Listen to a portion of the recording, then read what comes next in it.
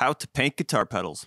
There are a lot of ways to paint pedals, and here's one of the simpler methods I've come across to help those getting started the DIY way. You might need to do some experimenting of your own, practice on a spare or misdrilled enclosure if you got one.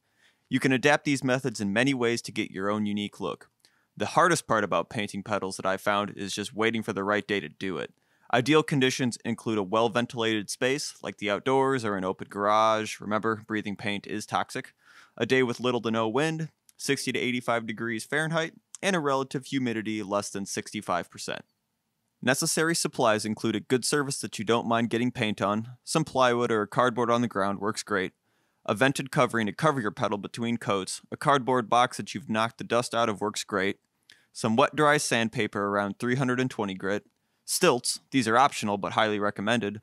There are actual project stilts you can buy, but you can get creative with chunks of wood, misdrilled enclosures, balled up paper, etc self-etching primer or some sort of aluminum primer, the base coat, which will be the main color of your pedal. If you're new to painting pedals, I highly recommend some sort of textured paint as it is much more forgiving than flat paint.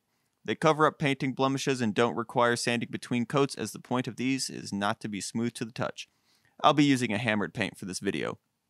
Next, you'll need a clear coat. I've had good luck with ones advertised as durable top coats for a thicker finish or lacquer for a thinner finish. If you want to label the controls, you can use a Sharpie, a cutout stencil, rubber stamps and ink, vinyl stickers, water slide decals, etc. Finally, you'll need an enclosure. Preferably it's pre-drilled so you don't mess up the finish while drilling. Step 1. Surface Prep. Under running water, sand the entire surface of the pedal. 320 grit is a good all-around sandpaper for this type of work, but anything around that will be fine. Sanding helps scuff the surface so that the primer can stick better while also helping to get shop grease and dirt off the aluminum. If you don't want to paint the pedal, progressively bump up to finer grades of sandpaper until you get your desired look. Make sure to get the bottom edges of the enclosure too. After sanding, wash the pedal with some dish soap using a scrub brush or another piece of sandpaper. Rinse thoroughly and wipe it dry while minimizing how much you touch the outside of the enclosure. Step 2. Primer. Once your pedal is fully dry, let it sit wherever you're going to be painting for 5 or so minutes. This will help the aluminum acclimate to the temperature and helps the primer to stick better. Do a quick, thin coat of self-etching primer around the entire outside. Spray 6 to 12 inches away, keep the can moving, and don't linger too long trying to get the whole exterior perfectly coated. It'll get covered in another coat. Follow the instructions on the can, wait between 2 to 5 minutes to dry before the next coat.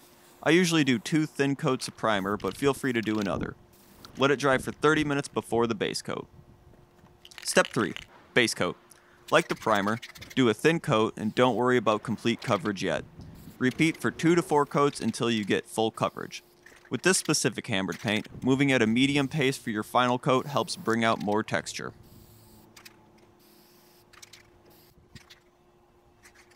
If you aren't going to label your enclosure, let it dry for 30 minutes then move on to the clear coat.